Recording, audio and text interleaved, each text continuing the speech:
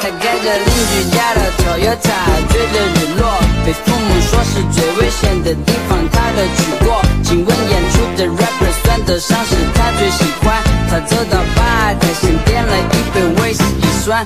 他总是只留下电话号码，从不肯让我送他回家。